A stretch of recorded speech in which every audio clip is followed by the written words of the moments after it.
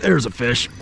There we go. The Ned rig has become one of the most popular bass fishing lures over the last several years. And if you watch my channel, you know I'm absolutely addicted to it. See, I've been fishing with this little thing right here since before it was named the Ned rig. Growing up in Kansas, I always knew this as the Midwest Finesse rig. And luckily one day I actually got the chance to fish with Ned Kehde. Well, Ned Kehde is who the rig is named after. So ultimately I've got a lot of experience with this thing right here and I just love this bait so much. And because of the fact that I fish with it so much, I have a lot of people ask me questions. And one of the common questions that I actually get is, Ethan, I cannot catch a fish on the Ned rig. I try it, I try it, I try it, and I never catch fish. And quite honestly, I think that's completely normal. While this lure is easy to catch fish on, it does have a little bit of a learning curve. And once you learn it, I think you're gonna find it to be extremely valuable. But it's not always easy to catch fish on if you're new to this style of fishing. So today I'm gonna share some tips with you. So if you're not catching fish on the Ned rig, at the end of this video, I think you will be catching fish on the Ned rig. And then if you're already catching fish on the Ned rig and you're confident in it, I think these tips will still help you catch even more fish. So with that being said, I'm gonna stop yipping and yapping and I'm gonna start casting and blasting. Let's go. Okay, we're gonna get started with a 1 16 16th ounce white mule jig and a little bit more of a bait fish type color. This is just your standard finesse TRD. This is one of my confidence baits for sure. I just got done with work for the day, so I gotta be honest with you. I've only got about mm, an hour and a half, two hours, so I'm hoping that the fishing is somewhat productive.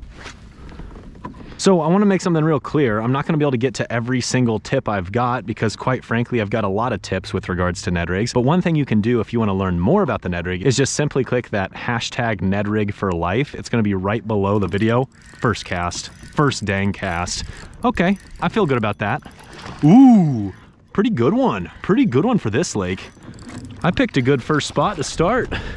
Let's grab the net. You know what? You know, I recently came to this lake and I only caught dinks. Not like this is a giant, but this is a really healthy quality fish for this lake. Man, that's a gorgeous fish. Very beautiful. All right, good deal. Well, that's gonna be a good start to today's video.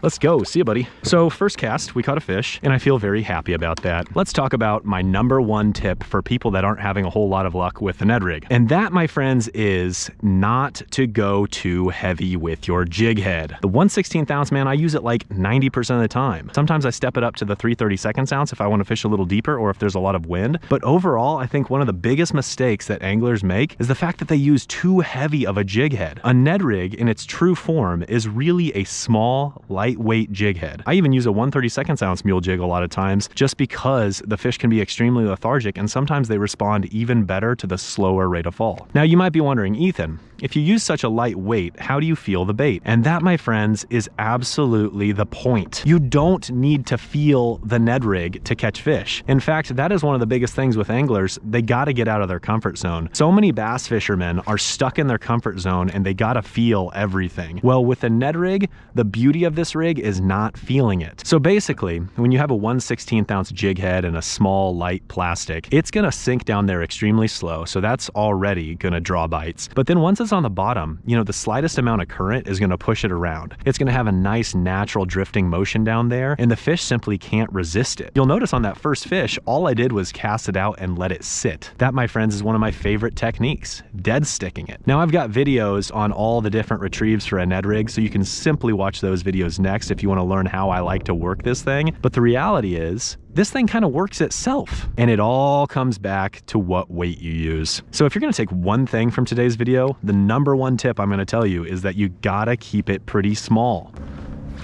So what's my number two tip for today's video? Well, the next thing that I really want to focus in on, and that first fish absolutely was a perfect way to start it, is the fact that you don't want to overwork this bait. So a lot of times what happens is people try to catch fish on the Ned rig and they're just like this the whole time.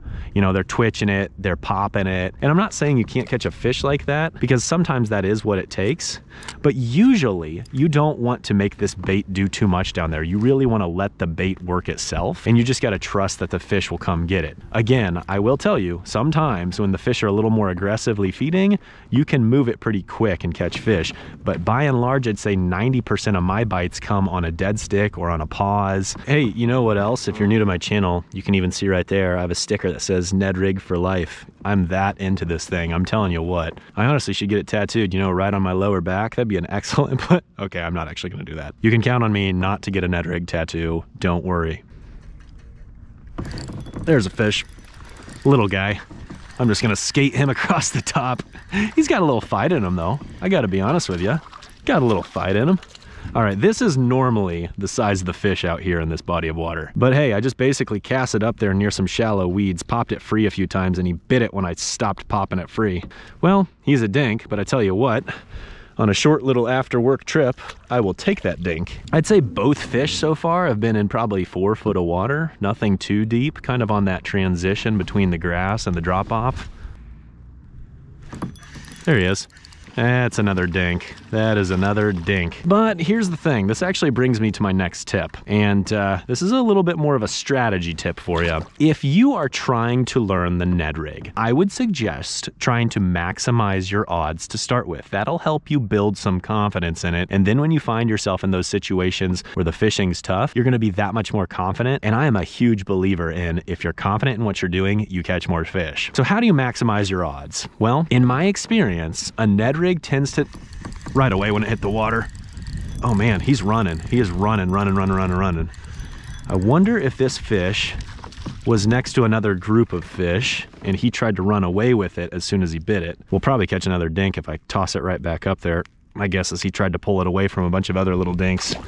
All right, let's see. Let's see. Okay, what was I saying? Oh yes, where does a Ned rig tend to work best? You know, I grew up in Kansas, as I've mentioned a hundred times, and a Ned rig worked really well in Kansas. And the reason was we had a large population of crayfish in a lot of our reservoirs. And crayfish are pretty much the same size as a Ned rig. Well, here in Michigan, I don't think we have near as many crayfish in the bodies of water that I fish, but we have a ton of bluegill, yellow perch, and minnows. And so my point is going to places that have a large population of forage in that three inch size, no matter what the forage, that is going to be a huge plus for Ned rig fishing. And then in addition to that, I would say I would really focus in on clear bodies of water. It's not to say the Ned rig can't work in murkier bodies of water, it's just that it works at its best in clear water.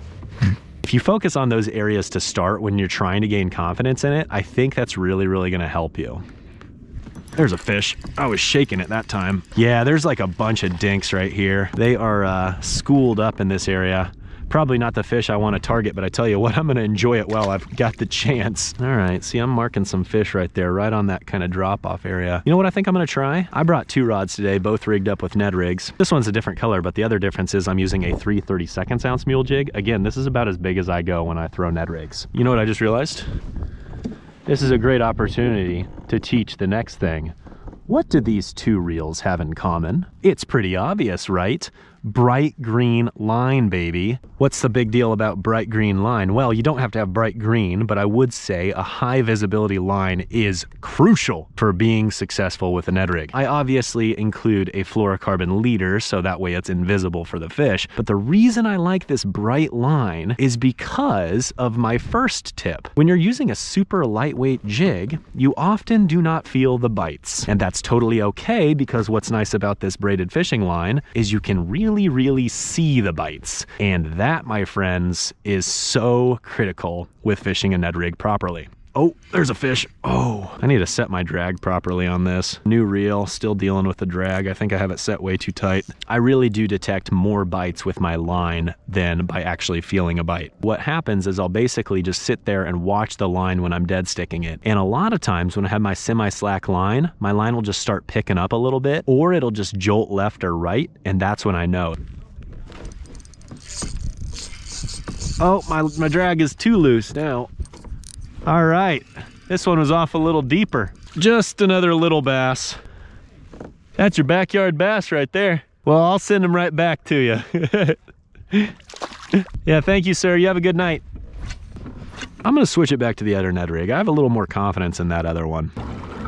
Okay, quick update. I tell you what, the fishing's been pretty decent. Obviously been catching a lot of small fish. It's kind of strange, you know, I started the day and I caught that nice one, and ever since then I just haven't been able to find any other decent fish. This little bait right here, man, he's like basically my best friend. The Ned rig, Gotta love it. And I'm telling you what, I hope that after today's video, you guys are picking up some good knowledge to where you can go out and smash fish on this thing too. If you catch dinks, that's totally fine. Take it as a good thing. Ultimately, it's all about getting bites and building that confidence. Once you're confident in a Ned rig, you're gonna be a great fisherman. You're gonna get out there and you'll be catching fish more often.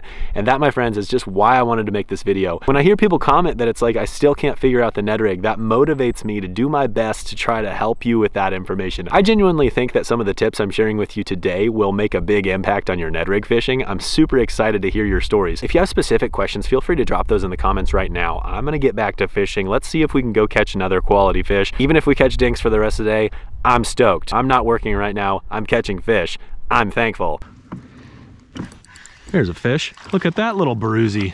Bruisey boy. Buddy, you are just another little dink, aren't you? Just another little dink. But I tell you what, haven't caught a fish in a while. It feels good to catch one. There you go, bud. It's kind of cool that I have the lake all to myself. You know, usually this lake gets a lot of pleasure boaters. And then once it starts to get a little colder, those pleasure boaters go away, which is awesome. No more jet ski, folks. Makes me super happy. For those of you who've been watching my videos for a while, you know that my arch enemy is a middle-aged man on a jet ski, oftentimes wearing jeans. There's a fish. There we go. There we go. Hey, that's better. That's not a giant, but he's better. I was starting to think about moving and he ate it while I was just kind of letting it sit there on that break line. He is cold, cold, cold, man. Gotta love the Ned rig, baby. Having ourselves a numbers day. Not necessarily a quality day, but a quantity day. Oh my gosh, he feels like an ice cube.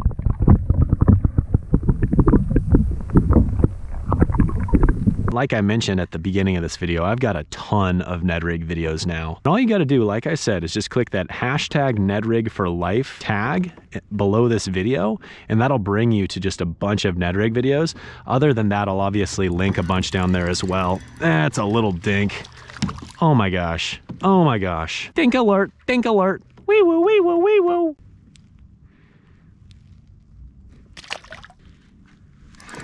There he is. That one feels also dinky. Felt better at first, but I tell you what, just another dink.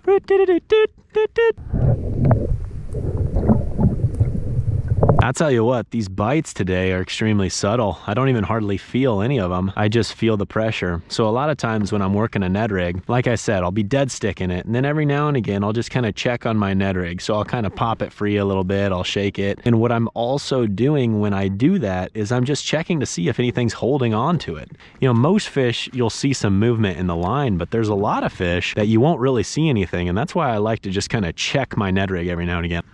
There's, see, like that. That fish was just there when I went to check on my Ned rig. That's a good lesson, man. That is a good lesson for all you Ned riggers. All right, see ya, homie. There's a fish. And it's gonna be another dink, but it's another fish. Ethan's happy. I mean, hey, I think I've shown you that the Ned rig can catch fish at the bare minimum. That's the perfect way to hook them, man. Mule jig to the dome, let's go.